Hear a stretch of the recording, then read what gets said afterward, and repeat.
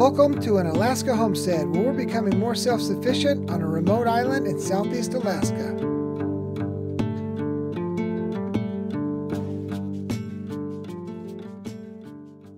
Before I plant my vegetables, I always uh, use some starter mix. It's just down to earth. I really, really love it. It's organic. I'm not selling it. I just really love it. I um, use all down to earth products on all my vegetables. I use starter mix in the beginning. As the months go on, I use a vegetable fertilizer for the rest of my garden and I've just had wonderful organic results and I love it. So um, give it a try and let me know what you think of it.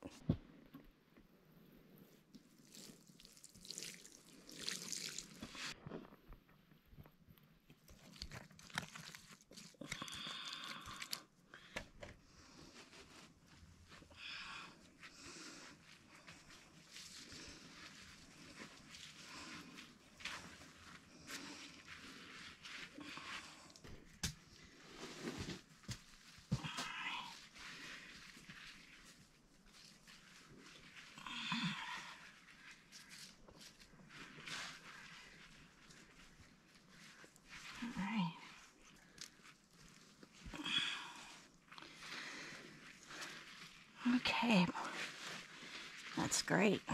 Okay, Southeast Alaska, I need some sun this year. Just like the first year I planted and I thought I was God's gift to planting and everything grew. And then the next three years, nothing grew. So give me some, give me some sun. All right, so while my wife's uh, gonna finish up in the greenhouse, I'm gonna come out here and start assembling the uh, Bouge 180 solar panel. Uh, they reached out to us and said that they would like us to try out their product. I said, absolutely, we'll try this out. What I wanna do with this thing is, is to hook it up out here and we wanna be able to, to uh, run the chicken lights and the chicken uh, water heater off of DC power. So uh, let's get started and get this thing set up.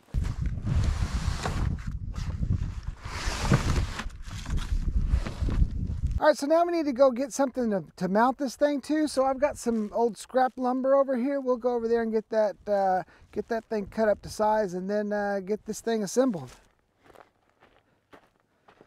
These are some of the extra pieces from our um, from our raised bed. I think this one I don't know, that one's probably the same, the right size. Yeah, that, that one will work.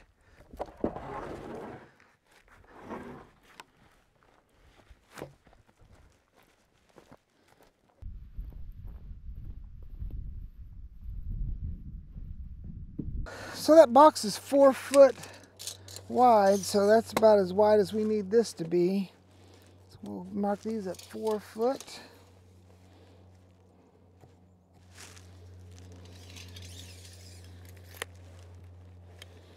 Let's see. Just go this route.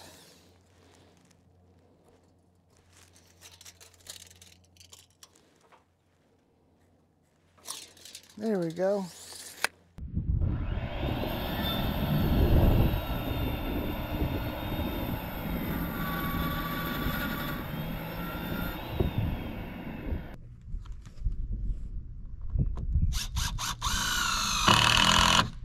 Right, so now that we've got our wood mounted to the box, uh, it's time for us to put the hardware on the panel. So it comes with uh,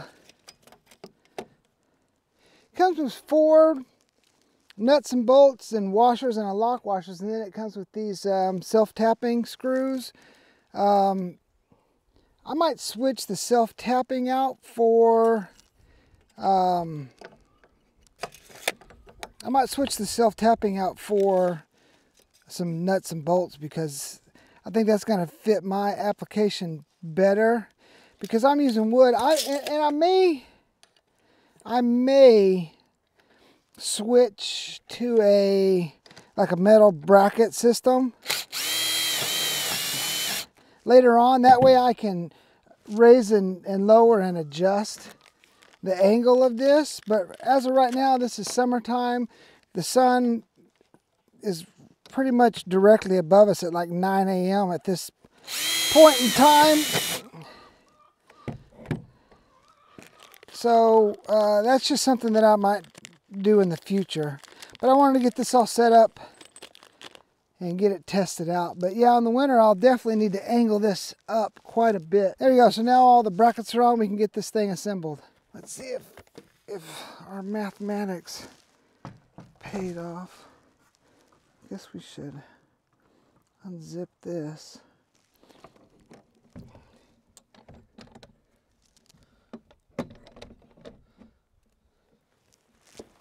How's that look? That looks good. All right, let's get this backside mounted up.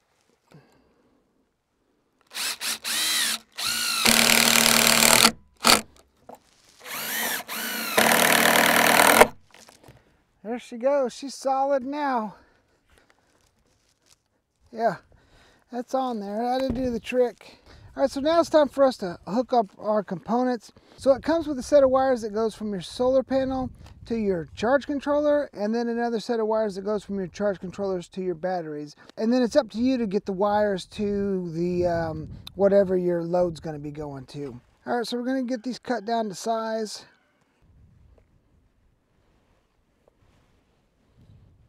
If this would just take just this top part off. There we go, that's what we wanted.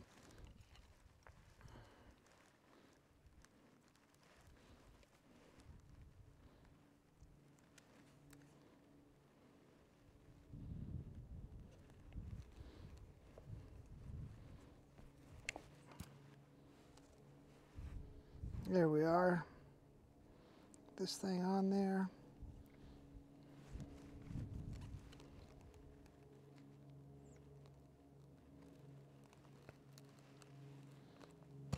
There we go, that's one down. Then we'll do the, the ground, we'll be good to go. Uh oh, I've got an assistant coming. Hello, assistant. Okay, yeah, I don't think you need, listen, this ain't, hey, this ain't nothing to eat, look. Okay, go on. Go on, go on, guys, go on. Huh? No, go on. All right, so now it's time for us to wire everything together. Uh, I've always been told to wire up your um, wire everything up first, then connect your panel. So that's the route I'm going to go. Negative.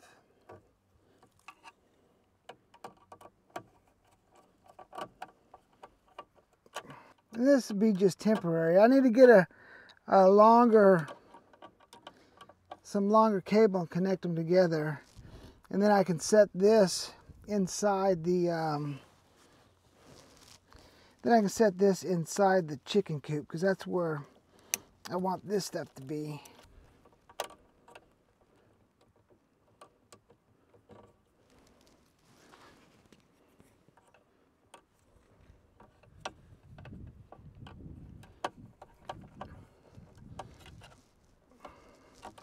There you go. So there's the cables to our solar panels. And we've got a positive and a negative for the batteries.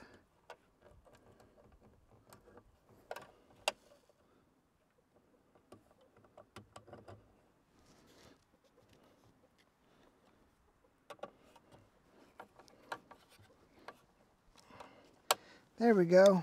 Then we'll get the batteries wired up and I'll have to go buy some smaller wire.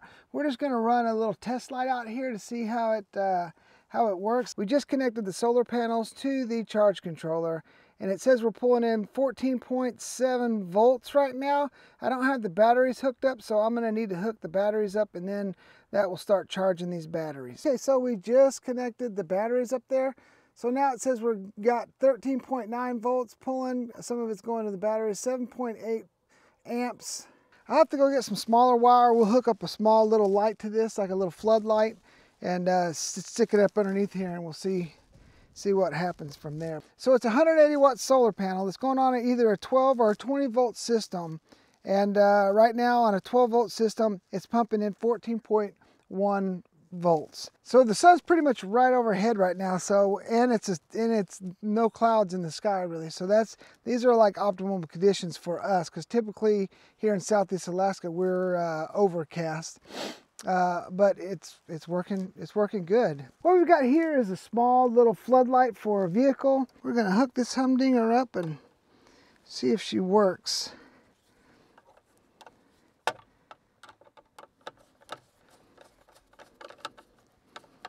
There we go. Look at there. Yeah, yeah, yeah. Look. There you go. There you go. That's all we really need in the wintertime. All we really need is just a light to light up the inside of the chicken coop because it gets, you know, in the dead of winter, it'll get daylight like around 10 o'clock maybe.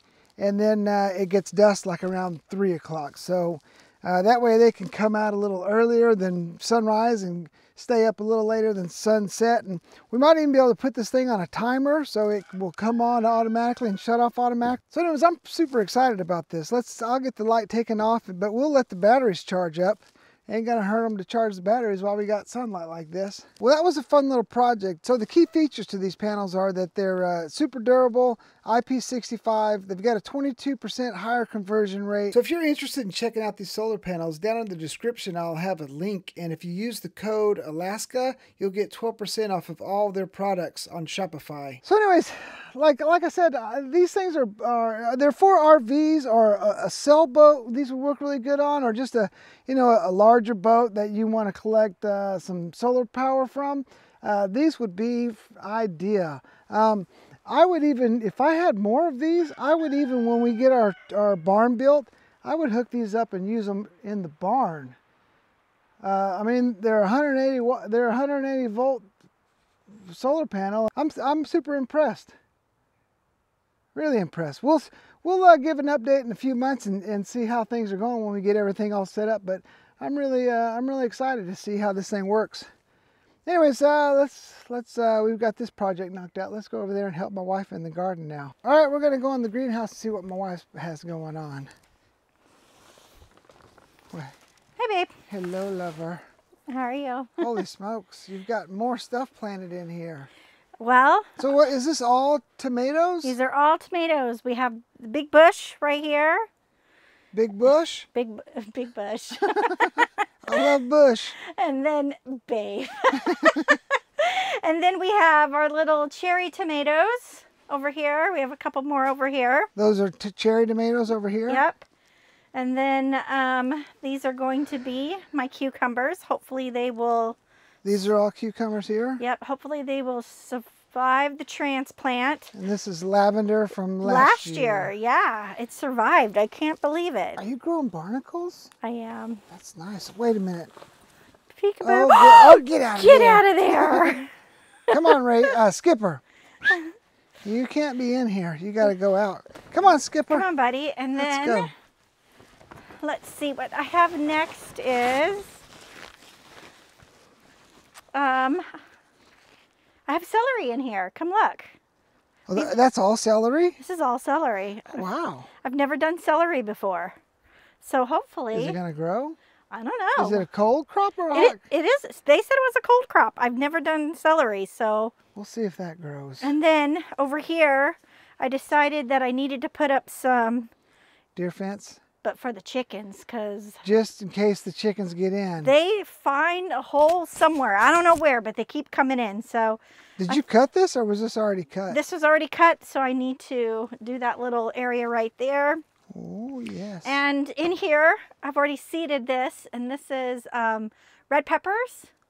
Um, this is our double hoop, and so we need to so to. we need to put the second thing of plastic we need to. on. Yep, we need to finish our double hoop. It fell apart last year after a storm, so we need to do some minor adjustments on it, and hopefully I can get some peppers to grow in here. Um, Marquita on the other side of the island, um, I asked if I could have a couple of her plants. So um, hopefully she has some extras I can throw in here also. So we'll Listen, I took Raven swimming on the other side of the island, and Marquita and her friend are over there sunbathing uh, because they said it was too hot in the greenhouse. it is hot in the greenhouse today. It's like 80 degrees in there, so it's it's hot. And then I have right in the middle of planting my zucchinis.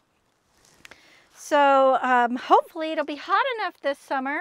Please God, give me some sun.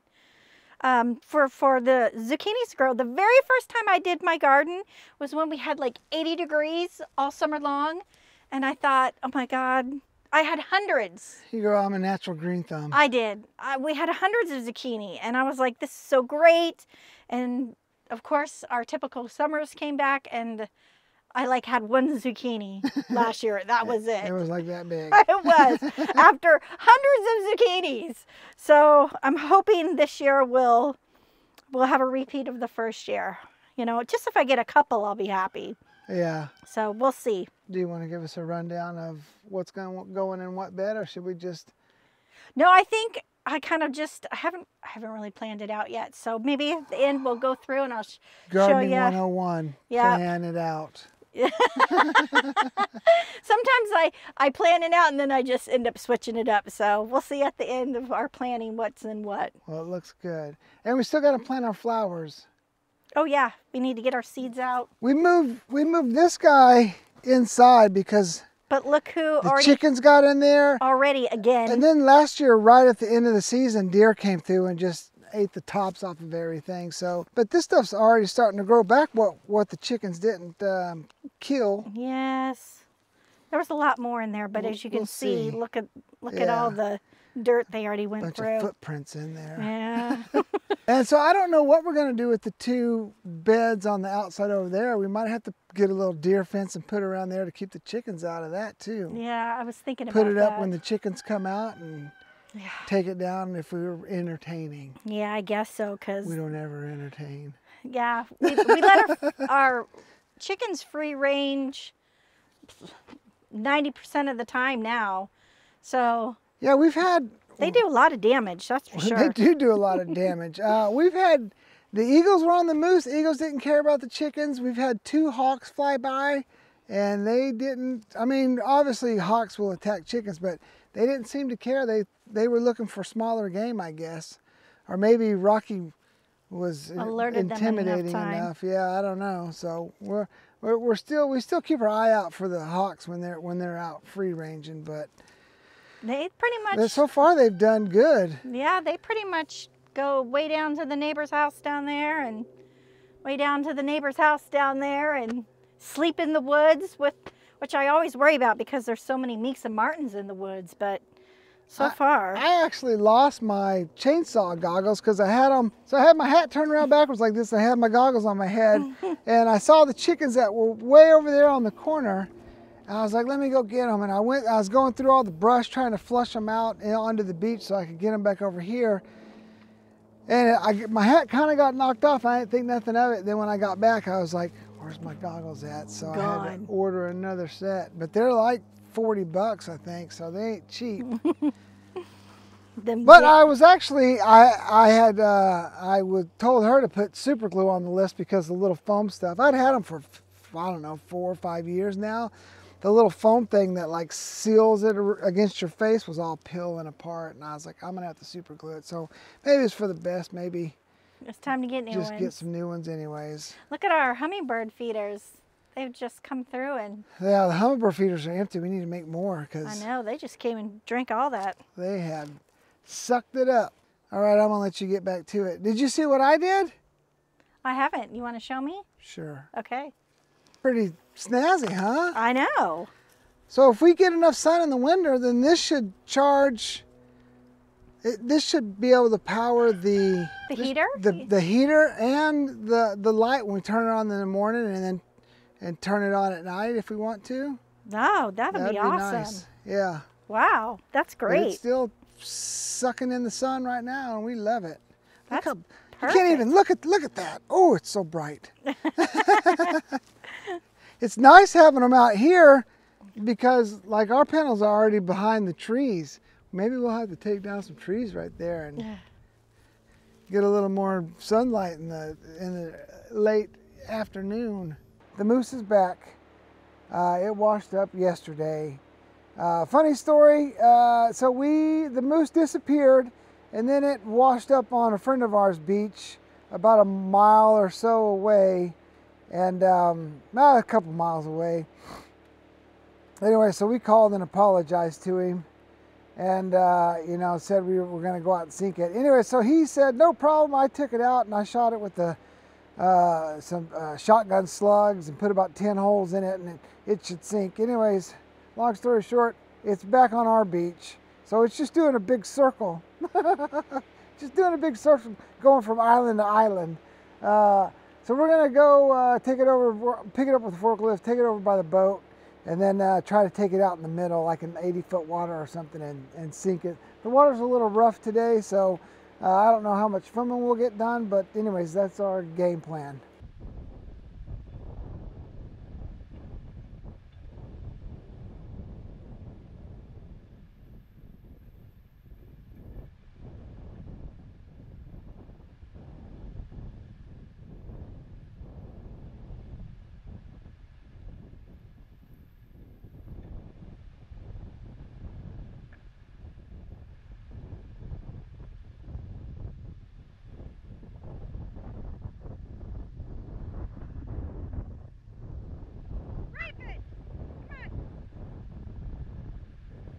Had to put my bandana on because that thing was stinky.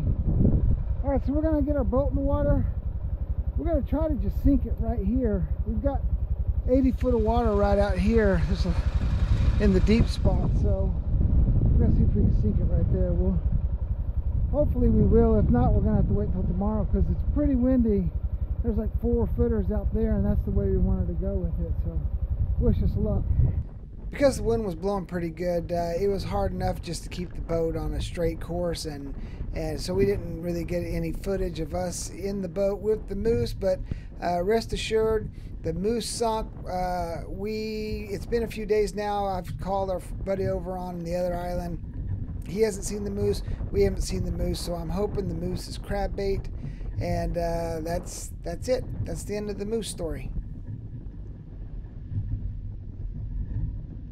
All right, well, that's going to sum it up for this video. We appreciate you guys watching. Uh, if you like the video, give it a thumbs up button down below. And remember, live free.